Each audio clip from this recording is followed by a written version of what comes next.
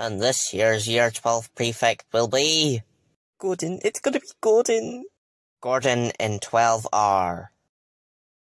Who? Me? Yes, yes, it's you, Specky boy. Now get your prefect badge right up here.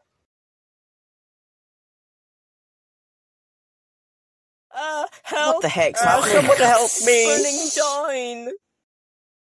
Why, good morning, chaps. I've just been making improvements to the school. What's that fire over there? Those are Rude's Diary of a Wimpy Kid and Captain Underpants books. But that's so many books gone. Don't worry, I got a book set of the Bronte novels. This is why no one likes you, Gordon. Yeah, it's like Nazi Germany out here. Oh, don't be so overdramatic. My days, why is the school so messed up looking, Michael? Because Gordon's trying to ruin everything as usual. You know prefects have to help with the formal, Gordon. Oh, I almost forgot to tell you, the formal's been cancelled. Why? Because no girl wants to go with me. that doesn't mean you have to ruin it for everybody. Wait, Gordon, straight? Well, the formal's cancelled, cause I'm prefect, and whatever I say- GORDON!